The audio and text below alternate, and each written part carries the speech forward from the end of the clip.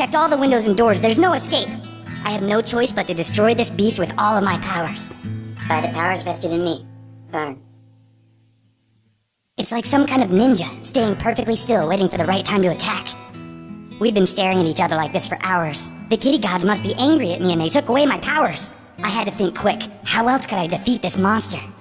Pat, pat, pat, pat, pat, pat, pat. Nothing was working. I had no choice but to seek help from a higher power. Dear Heavenly Kitty Gods, I know I haven't prayed for a while. Thank you for all the tuna fish. I promise to never piss on the dog again if you will just burn this piece of shit. Amen. It's still there. What am I doing wrong? And then, it happened. It started moving, getting ready to attack. Oh my god, burn!